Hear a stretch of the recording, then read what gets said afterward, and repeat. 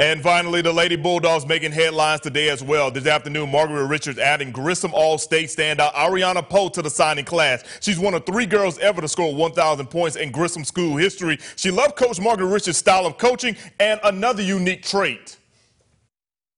Her personality. I love how like she loves my personality I love her personality. It's such a bubbly personality, just like me. So I think we're gonna get along great.